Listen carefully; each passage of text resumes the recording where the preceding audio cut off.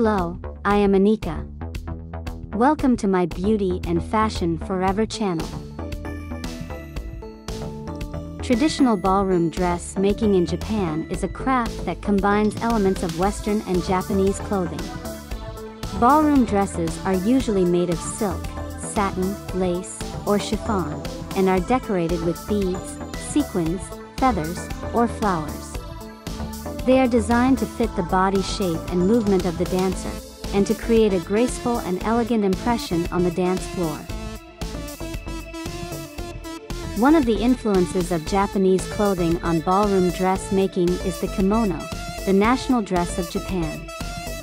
Kimono means thing to wear in Japanese, and it is a long robe with wide sleeves and a belt.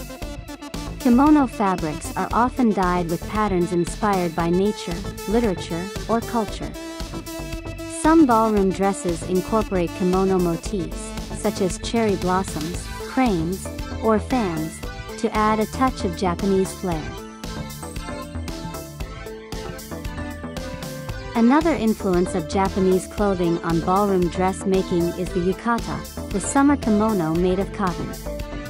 Yukata are worn at summer festivals, such as fireworks and Bonodori dances. They are lighter and more casual than kimono, and come in various colors and designs. Some ballroom dresses use yukata fabrics or styles, such as stripes, dots, or floral prints, to create a fun and festive atmosphere.